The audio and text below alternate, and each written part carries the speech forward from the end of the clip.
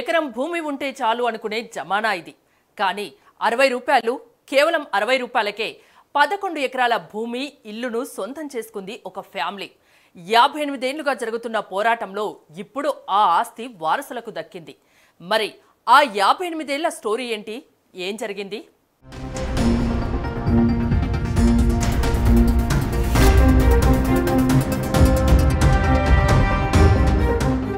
తమ ఇల్లు వారసత్వంగా వస్తున్న పదకొండు పాయింట్ రెండు ఐదు ఎకరాల భూమిని సుదీర్ఘ న్యాయ పోరాటం చేసి దక్కించుకున్నారు కుటుంబ సభ్యులు.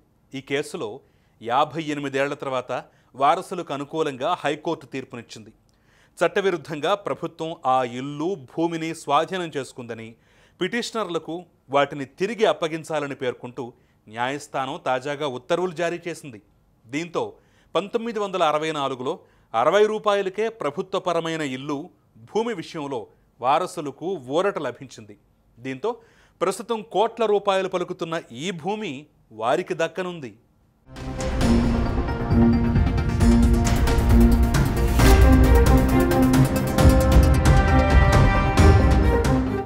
అసలేం జరిగింది అనే విషయానికి వస్తే రంగారెడ్డి జిల్లా మోమిన్పేట మండలం బూరుగుపల్లిలోని నూట ఇరవై నాలుగు నూట ఇరవై ఎనిమిది బై రెండు సర్వే నంబర్లలోని వ్యవసాయ భూమిని ఇంటిని రామాగౌడ్ అనే ఎక్సైజ్ కాంట్రాక్టర్ కల్లు దుకాణం సెక్యూరిటీ కింద ప్రభుత్వానికి తాకట్టు పెట్టాడు.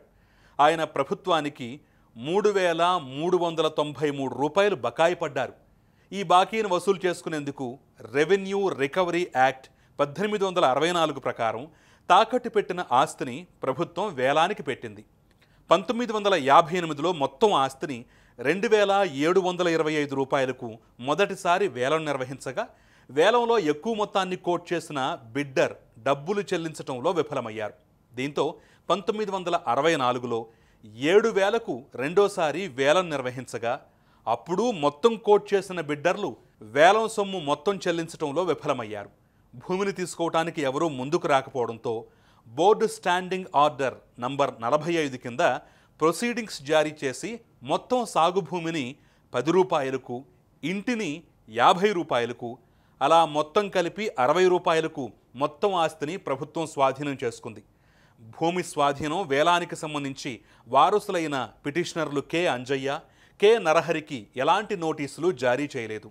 అప్పటి ప్రభుత్వం బకాయిలు మొత్తం చెల్లిస్తే వడ్డీ పెనాల్టీలు రద్దు చేస్తామని ఒక పథకాన్ని ప్రవేశపెట్టింది. దీంతో పిటిషనర్లు పంతొమ్మిది వందల తొంభై ఆరులో మూడు వేల నాలుగు వందల రూపాయలు చలాన్ ద్వారా ప్రభుత్వానికి చెల్లించారు. స్వాధీనం చేసుకున్న భూమిని ప్రభుత్వం ఇతరులకు కేటాయించిందని తెలుసుకున్న పిటిషనర్లు రెండు వేల ఒకటిలో హైకోర్టును ఆశ్రయించారు.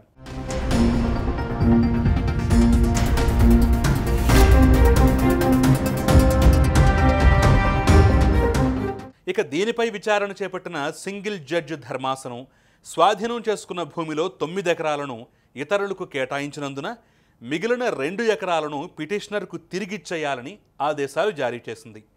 దీనికి అంగీకరించని పిటిషనర్లు మొత్తం పదకొండు ఎకరాలను తిరిగివ్వాలని కోరుతూ హైకోర్టు డివిజన్ బెంచ్ను ఆశ్రయించారు. ఈ పిటిషన్పై ధర్మాసనం విచారణ చేపట్టింది. ప్రభుత్వ అధికారులు రెవెన్యూ రికవరీ యాక్ట్కు విరుద్ధంగా భూమిని వేలానికి పెట్టారని అసలు భూమిని వేలానికి పెట్టడమే చట్టవిరుద్ధమని కోర్టు ఆక్షేపించింది. ఇక ఈ క్రమంలోనే స్వాధీనం చేసుకున్న భూమిని ఇతరులకు చేసిన కేటాయింపుల్ని అనంతరం సదరు భూములకు సంబంధించి జరిగిన మొత్తం క్రయ విక్రయాలను సేల్ డీడ్స్ను కోర్టు కొట్టివేసింది.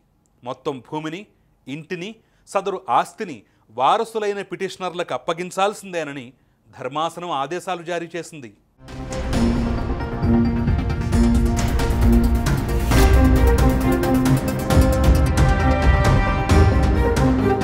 యాభై ఎనిమిదేళ్ళు పోరాడారు. ఎట్టకెలకు నెగ్గారు. ఆస్తులను చేజిక్కించుకున్నారు.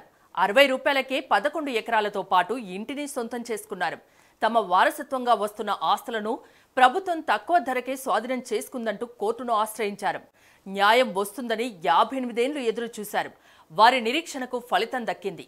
షాకింగ్ విషయం ఏంటంటే ప్రస్తుతం అక్కడ ఎకరం ధర కోటి రూపాయల దాకా పలుకుతోంది.